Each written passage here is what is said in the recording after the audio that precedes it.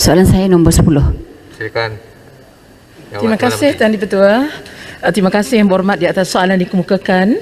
Uh, kami Kementerian Pembangunan Wanita, Keluarga dan Masyarakat amat prihatin terhadap kes keganasan rumah tangga yang sering diperkatakan dan di antara inisiatif yang telah dilaksanakan ialah membantu mangsa keganasan termasuk menjadikan masjid sebagai pusat transit kepada mangsa keganasan rumah tangga.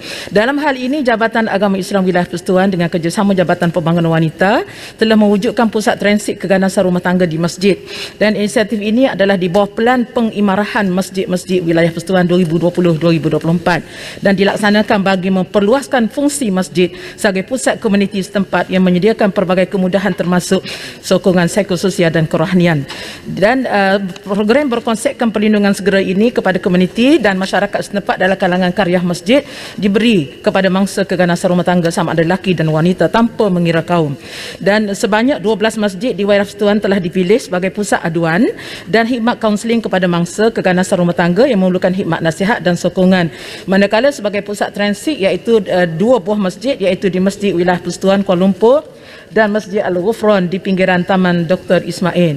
Di, uh, dan di pusat transit ini juga mangsa diberi kaunseling bimbingan spiritual oleh pegawai masjid serta pegawai Jabatan Kebajikan Masyarakat yang terlatih dan mangsa yang tinggal di asrama untuk sementara diberi makan minum terlain daripada keperluan persalinan, selimut tuala dan kepercayaan diri.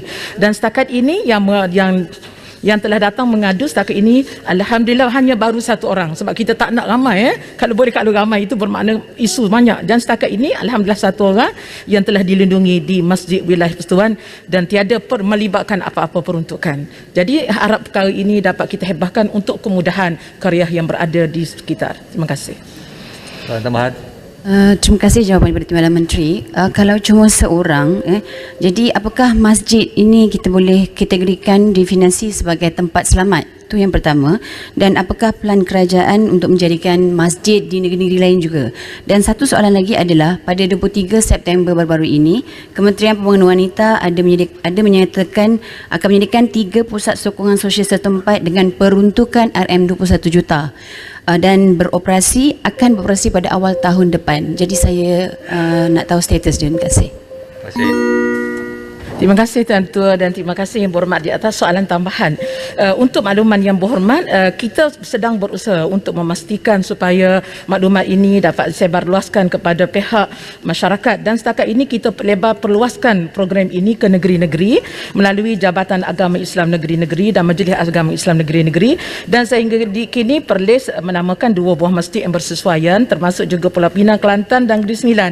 Uh, telah mencadangkan tapi akan melaksanakan perbincangan tertakluk kepada perbincangan dengan Jabatan Pembangunan Wanita dan uh, di Selangor uh, uh, menya- maklumat yang kita terima mereka akan melaksanakan dengan kerjasama NGO dan kita juga masih sedang berunding dengan negeri-negeri lain.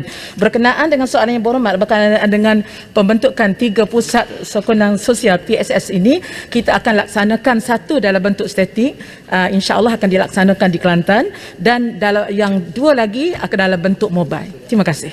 Terima kasih.